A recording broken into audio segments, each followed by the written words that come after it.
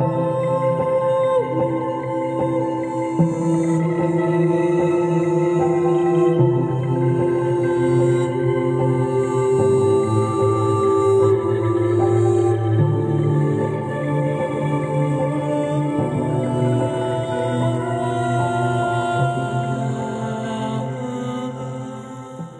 Quiero decirte que Dios es maravilloso, hace milagros todos los días. ¿Te gustaría saber cómo trabaja Dios en los corazones? Quédate con nosotros, comenzamos.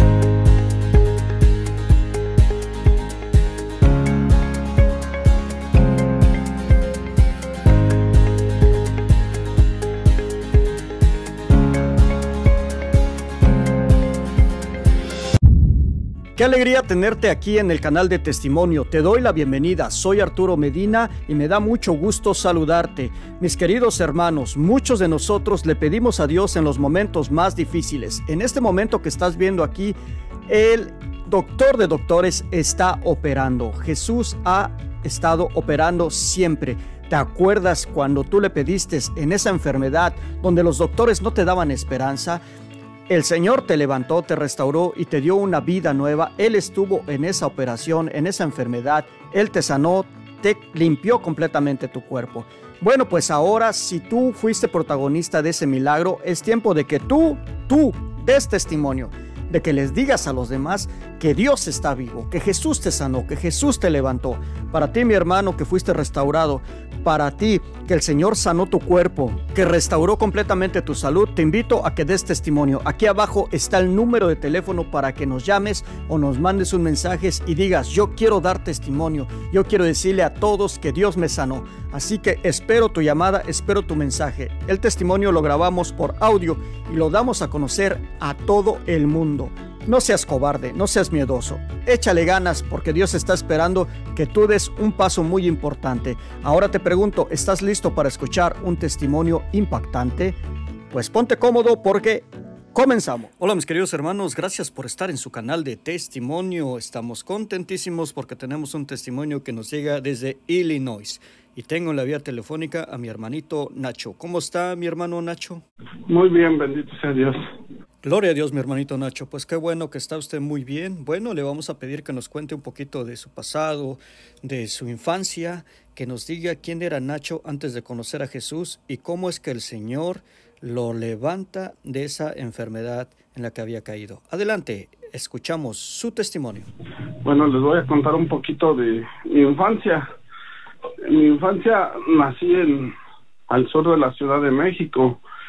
Eh, vengo de una familia disfuncional donde no hay papá, una mamá que en ese momento pues estaba solo con el vicio de alcohol, era este muy joven ella. Y este pues teníamos una bolita bien golpeadora en paz descanse, ¿verdad? Entonces yo viví con el viendo como lastimaba a mis hermanas mayores, mi abuelita, porque era muy dura. Y pues yo eso no lo entendía. Y eso me ponía muy triste porque me sentía que mi papá me hacía falta porque yo veía a todos los niños que tenían sus papás y este y pues a todos los cuidaban. O no de pequeño que trabajar. Mi abuelita fue que me enseñó. Era muy dura entonces yo lloraba miraba las noches como todos los niños descansaban era una colonia que se iba abriendo este cenaban sus familias bien unidas y yo no. Yo decía, ¿por qué? ¿Cuándo va a venir mi papá? Y me hizo mucha falta mi papá, pero él tuvo otra señora con cual tuvo tres hijos. Entonces, este, en esta unidad viendo a la de mi papá, personas más mayores que yo, ya adultos y yo siendo un niño como de unos seis, siete años, este, intentaron abusar de mí y me fueron formando un carácter muy feo porque les agarré mucho rencor, odio a esas personas yo pensaba, decía, tengo que crecer para matarlos a ellos. Entonces fui creciendo y pues en la escuela como no tenía yo papá, no tenía hermanos, era solo, pues me tuve que ir abriendo paso y, y por donde quiera este se aprovechaban de mí porque si me peleaba y ganaba yo los hermanos llegaban y me golpeaban los mayores y todo eso decía pero un día va a llegar mi papá y me va a decir cómo estás quería que hubiera una imagen ahí que me sentirme apoyado. Pero esa fue mi mi, mi, infancia de pequeño. Ya cuando en mi adolescencia empecé a conocer este toda esa onda de los punks y me refugié en ellos porque yo sabía que existía Dios y todo, y yo le pedía desde pequeño, Señor, yo quiero cambiar, yo quiero cambiar, quiero ser una persona que hable, que cambie esta humanidad porque es muy dura. Y de esa forma yo vi que toda la gente me agarraba miedo y yo sentía que era un respeto lo que me tenían y yo agarré toda esa cosa de ser punk rocker entonces, cuando yo vivía así, empecé a conocer drogas, alcohol, y todavía la gente me empezó a tener más miedo, empecé a usar armas, pistola. Entonces ya la gente que me había agredido a muchos les tenía yo coraje y fui lo de una otra manera me, sacaba mi coraje y los espantaba y así viví, crecí y todo, pero yo sabía que existía Dios, simplemente no lo conocía.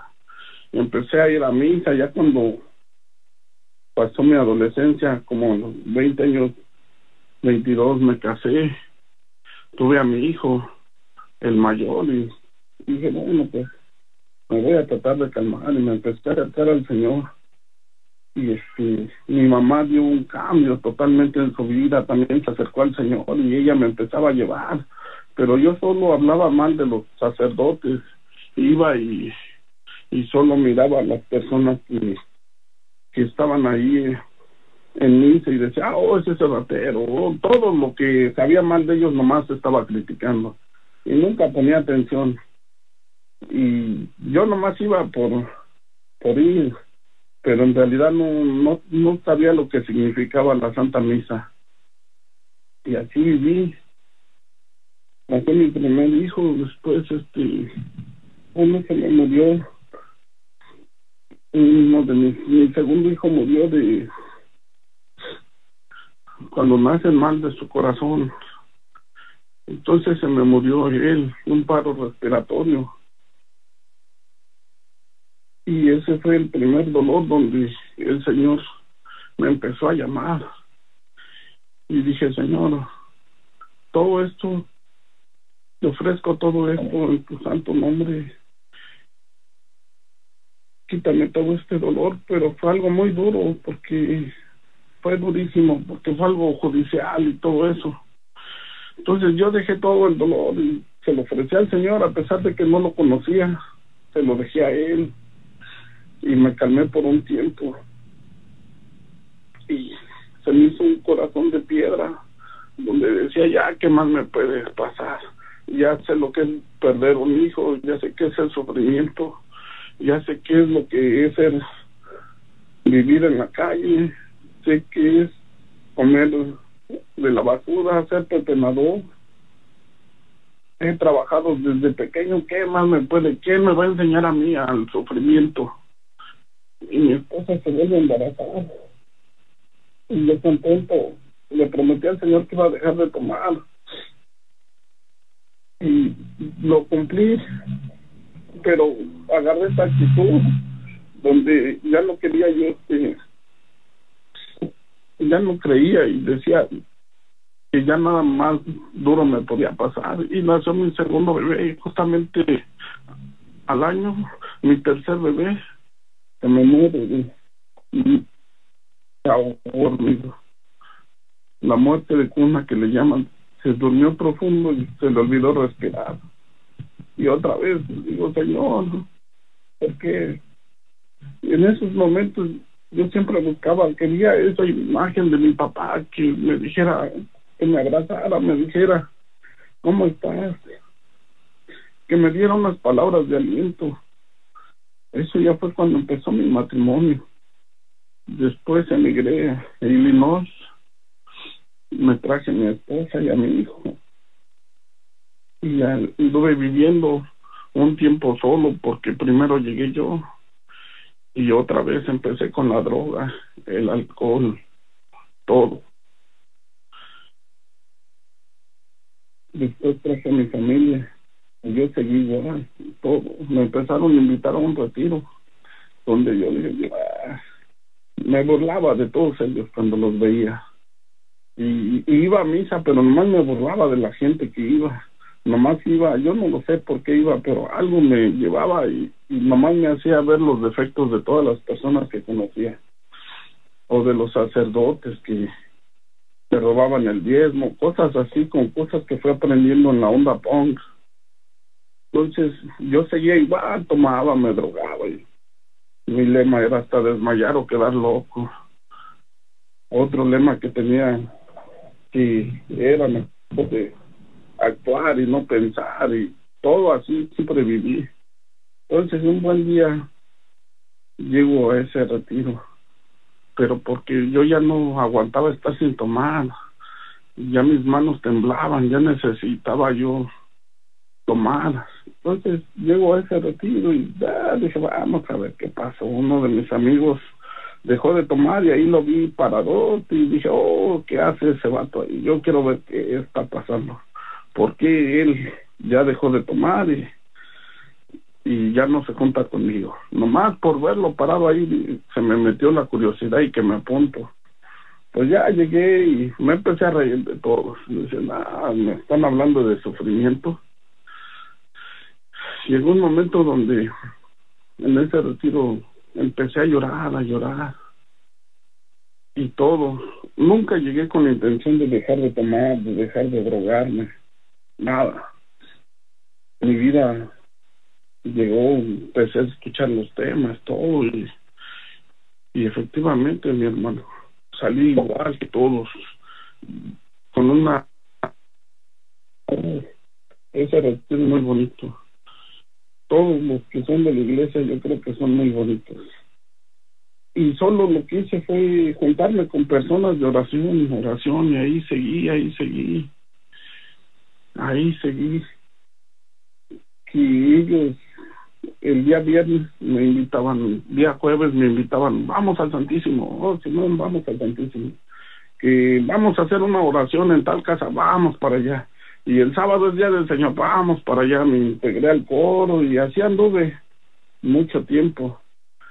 Entonces este, se me hizo muy bonito, eso fue hace siete años que yo empecé a caminar con el Señor leo la Biblia, trato de, de pues escuchar videos y todo para irme enseñando, pero no se me queda nada, mis hermanos, no se me queda nada. Entonces, este, lo único que me he enseñado es tratar de con un ejemplo de vida de ir este cambiando mi forma de ser de que si antes me gustaba agarrar las cosas que no eran mías en los trabajos, en donde fuera, ya no lo hago. Que si antes me robaba tiempo porque no desempeñaba mi trabajo, ya no lo hago. Si yo voy y trabajo ocho horas, las ocho horas las trabajo, no menos, no más. Trato de ser justo. Trato de, en mi vida propia, reflejar el amor de Cristo, de pues dar un ejemplo nada más. Entonces, así, ese fue mi lema. Después, este, vi que fui a misa, empecé a entender lo que era la Santa Misa y entendí que, que dijeron que la Santa Eucaristía era Cristo. Empecé a leer, a buscar, a buscar en la Biblia y todo. Y dije, oh, aquí nos dice el Señor, coman y beban. Este es mi cuerpo y mi sangre. Y eso se me quedó muy grabado en mi corazón y dije, sí, esto es lo que nos diferencia de las demás este religiones. Ellos no entendieron que este es el cuerpo y la sangre de Cristo. Entonces yo para ese tiempo no estaba casado, pues busqué el sacramento de casarme, algo que yo nunca quería aceptar. Busqué, me casé, todo, mi esposa, todos, ahora vamos a misa y comulgamos. Y hubo algo muy bonito que escuché, dice, miren, estos hermanos son los hermanos este oradores nocturnos que ellos este oran por todas las ánimas del purgatorio y todos los no nacidos toda la noche se la pasaron orando por, personas que que no este que nadie reza por ellos. Y dice oh yo quiero ser de ellos pero siempre he tenido una actitud muy diferente como que no me ha gustado darme a notar y eso. Dije yo no me voy a apuntar con ellos pero ahí voy a estar y sí mis hermanos así le hago. Yo llego a las tres de la mañana a las dos a la hora que se puede abro mis ojos y ya está preparado para ir y orar y todo eso se me metió en mi mente de rezar por los que nadie reza, las ánimas del purgatorio, los bebés abortados, por todos los enfermitos y así llegué. Después llegó un tiempo donde mi grupo empezó a ver los defectos de, de las personas. Yo no comprendía y empecé a juzgar, pero no decía nada y eso me fue alejando, alejando. Entonces, para esto era muy orgulloso, mis hermanos. Un orgullo muy grande. Me quedé sin trabajo y todo. Y uno de los hermanos me dijo, ven por una despensa, mi hermano. Ven por una despensa para que te ayudes. Y yo le dije, yo no necesito. Y todo. Y ese día, mis hermanos, empezó a cambiar mi vida. Porque fue cuando aquí en Illinois empezó el virus y yo fui de los primeros de aquí, mis hermanos. En ese momento dejé de comer, se enfermó toda mi familia y era algo desconocido para todos. No sabían qué iba a pasar, mis niños, mis niños empezaron en una crisis, un terror de que mi hijo y yo nos fuimos hospitalizados toda mi demás familia se quedó aquí con virus pero yo me sentía bien, decía, no, no pasa nada, vamos, ahorita regresamos y todo. Cuando yo llego al hospital ya nomás empecé a llegar como con, como que me fallaba nomás. De repente decía, oh, ya estoy aquí, ¿cómo llegué? Y ya cuando empecé a tener conciencia fue cuando estaba sentado en el hospital, en, en la cama. Y llegan y me dicen, oh, dice, desvístase y yo todavía bromista les dije, sí, también el calzón y todo. Pues yo dije, ahorita me van a sacar. Sí, claro, dice todo. Entonces en eso mi esposa estaba embarazada. para Yo fui un jueves, para el día martes mi señora tenía un, un bebé que se, no se iba a lograr, pero para la gloria de Dios, ella para el martes se le iban a hacer cesárea a mi esposa. La, mi última bebé tiene año y medio. Y en ese momento yo dije, no, ¿saben? Que no me puedo quedar porque no hay quien lleve a mi esposa. No, no, usted no se preocupe. Total que yo solito me desmayé ahí en ese lapso que entré al hospital. Entonces, este, de repente me dice, ¿sabe qué? Hable con su esposa, dice, porque antes de que lo entubemos y eso, yo no sabía qué pasaba y dije, ok, este, ya hablé y dije, ¿sabes qué, mi amor? Pues yo creo que esta es la última vez que hablamos. Pues yo creo que ya no voy a estar contigo. Les dije que me despiden de todos mis del grupo y de mi familia. Y así pasó. Y digo, diles a todos que los amo, que los quiero a todos los de mi grupo.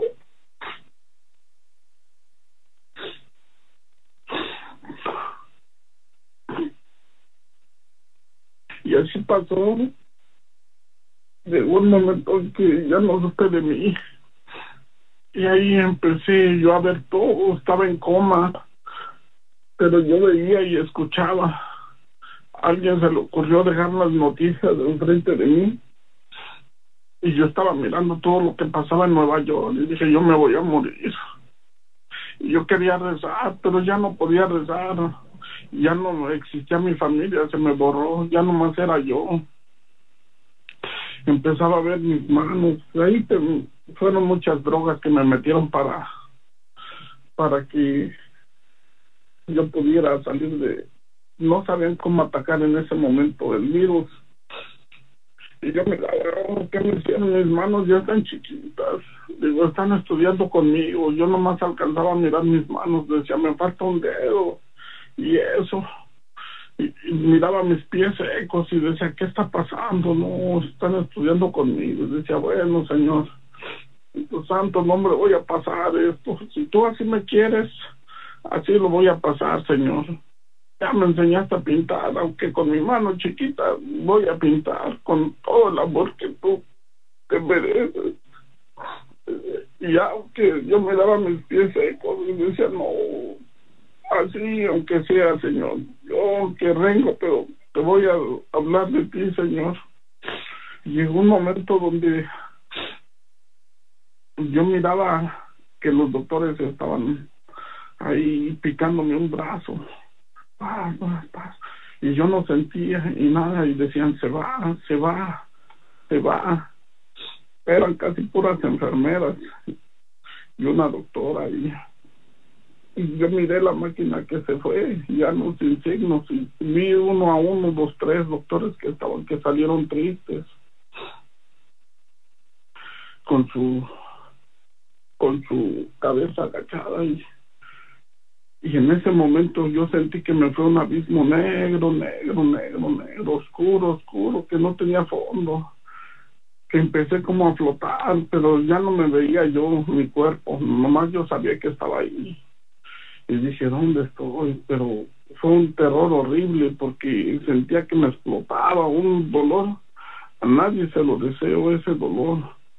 Un dolor horrible que te quema más allá que te quemes con tu cuerpo es un dolor horrible y puros lamentos puros lamentos nomás sentía que había y dije oh señor mío yo estoy aquí donde tú hablaste en la Santa Biblia de rico y Lázaro yo este es el lugar me recordaba cosas de la iglesia decía, aquí es donde uno, hay una parte de, la Biblia que seguido lo, lo, he oído que dice que, que era el gran banquete y que el rey invitó a todas las personas y nadie fue, entonces mandó a sus ayudantes que fueran a traer a todos los que andaban en la calle y eso en los caminos. Y llegó uno sucio y yo ese siempre lo tenía, dice, lo vamos a aventar al hoyo donde nomás el rechinar de dientes se oye. Y yo siempre lo interpreté y decía, oh, hay que ir bien limpios a misa. Eso es lo que quiere que decir. Hay que ir bien limpios. Y en ese momento me llegó esa parte y me di cuenta que era ese abismo y empecé a ver todos los defectos míos de mi carácter. Y más ya estando en misa, ya conociendo al Señor, más esos defectos donde uno ya está consciente de en quién cree, en que Jesucristo está en la Santa Eucaristía, cuando uno ya está consciente de eso y empieza a juzgar, empieza a ir y no enfocarse en la Santa Misa, los defectos, pero eran nomás míos, todos ahí como si me pusieron una pantalla y yo los empecé a ver, a ver mis hermanos. Y yo quería explotarme, me senté que me explotaba y, y yo quería rezar, ya no podía rezar. Ni un rezo pasó por mi mente, siendo que a mí siempre me ha gustado ser de esos personas que contemplan al Santísimo, que he estado por mucho tiempo ahí, nada de rezos había en ese lugar, ni salía. Solo me puse a llorar, a llorar, a llorar. Y le dije, Señor, ¿por qué me lastimas? Yo te conozco, Padre mío. Yo te conozco. No necesitas lastimarme de esta manera. Yo sé que mi familia va a estar bien. Digo, yo me voy contigo, pero ya no me lastimes, Señor. Y todavía sentía que me explotaba, como si el alma fuera la que se estuviera quemando, no el cuerpo, el alma. Y eso yo agarré y sentí una fuerza grande, grande, como si me impulsaran para aventarme. Y dije, yo me voy contigo, Señor. Yo me voy contigo, yo ya no aguanto, pum, y me aventé al hoyo más abajo, ese abismo. Y en ese momento lo único que encontré fue el piso de, del hospital. Entonces dije, ¿qué pasó? Y yo miraba que tenía ahí unos minutos ya y nadie llegaba miré que se asomaban ahí al cuarto de terapia intensiva y como que yo miraba como que se espantaban y nadie quería entrar. Entonces llegó un, doctor y me dijo, dice, ¿cómo estás? Y digo, oh, bendecido, bendecido. Dice, ¿por qué? Oh, le digo, acabo de resucitar. Y nomás me movió la cabeza diciendo que sí. Y dice, ¿tú sabes cómo te llamas? Y me hizo todas esas preguntas y digo, sí, yo estaba totalmente consciente de todo. Dice, te voy a pasar a tu esposa. Y ya mi esposa habló, habló conmigo y me dijo, échale ganas, ya tu hija ya está aquí. Dice, ya nomás queremos que tú le eches ganas. Dice, ya diste un gran paso, ya reaccionaste. Dice, ahora solo échale ganas. Y le dice así, Digo, está bien, pero todavía estaba mal. Me, no me movía nada. Entonces me volvieron a acostar y me volvieron a conectar, pero ya nomás con aire en mis, en mi, en mi nariz. Y yo estaba ahí, dice, ¿qué va a pasar de mí? Ya no me muevo, ya no muevo mi, nomás movía mi cuello y un poquito mis muñecas. Dice, ¿qué va a pasar de mí? ¿Qué va a pasar? y todo.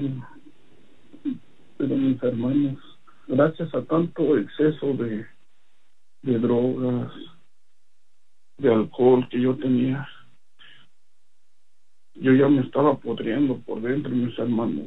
Atestaba a podrido, perro muerto, feo. Yo le pedía a mi Señor, Señor, cúrame esto, ya me hacía tratamientos, esto la gente no me lo decía, pero yo lo notaba y todo. Pero yo llegué así con esa adicción donde ya te empiezas a descomponer por dentro, todo. Y la fui, la quité en, todas las adicciones. Y en ese momento, mis hermanos, dejé de comer 15 días. Estuve ahí entubado siete días y siete días ahí recuerdo algo bien maravilloso. Llegó un momento, todas las personas que han estado oradores o que han estado, que de veras en su corazón saben que Jesucristo está en la Eucaristía, ha llegado un momento tal vez en su corazón donde han sentido una paz tan hermosa. Pues llegó un día donde de esos días que estuve hospitalizado, que ya llegó un doctor, pero al momento que abrió ese doctor la puerta, yo vi que era un doctor, lo vi a él, pero yo sentí, yo sentí que era Cristo el que caminaba, solo por unos siete segundos máximo. Yo lo vi, yo lo sentí. En ese momento me dijo, ¿cómo estás? en ese momento sentí como si hubiera sido mi papá, la persona que me iba a confortar. En ese momento sentía que era Cristo, solo eran siete segundos máximo. Y le dije, ahora yo ya estoy bien.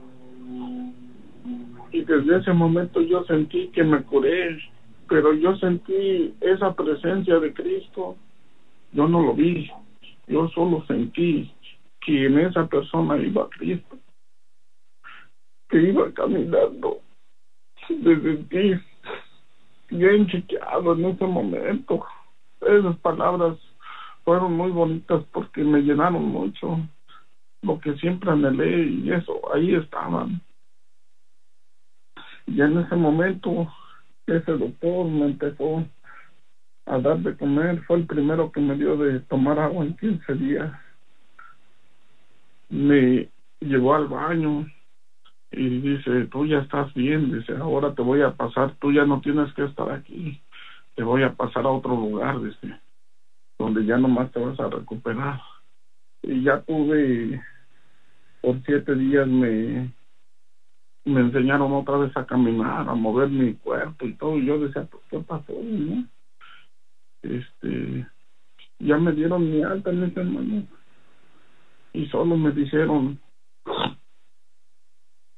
aquí están sus papeles de salida, cuídese porque usted se puede volver a infectar, dice, a usted los pulmones se le pararon por la neumonía y por la neumonía le dio un derrame en su cabeza. Fue el único que me dijeron.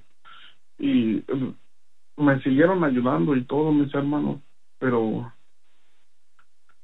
de ahí cuando estuve en ese hoyo negro solo me acuerdo que le dije, Señor, tú me das otra oportunidad. No habrá día que no hable de ti, Señor. Si tú me dejas volver, habrá día que Dios no hable de tu palabra y tu misericordia. Y ahora, pues es lo que trato, mis hermanos, de hablar de su misericordia del Señor. Persona que me encuentro y veo que está triste y eso le hago la plática y le hablo del Señor. Yo soy una persona que no no se me graba mucho la palabra, pero lo único que tengo es el testimonio y es lo único que le doy y lo invito a que se acerque a Jesucristo Eucaristía. Muchos me dicen, no, estoy casado para recibirlo y eso, usted vaya. El Señor lo bendice, cruce sus manitas y vaya y, y el Padre lo va a bendecir. Es como si Jesucristo lo estuviera bendiciendo, mi hermano. Digo, usted vaya, acérquese, es como que usted esté yendo a un buffet, hay de toda la comida, pero les falta la, el agua y la carne. Y aquí tenemos todo, mis hermanos, solo es buscarlo. Una persona me preguntó, mis hermanos, ¿sentiste que Dios te dio otra vida? Y les dije, no. Cuando sentí que Dios me recogió y me dio otra fue cuando me acerqué y me decidí ir a ese retiro y empecé a cambiar mi forma de vida porque esos siete años para acá han sido los más hermosos de mi vida. Es todo lo que les quiero compartir mis hermanos. Que todo sea para la gloria del Señor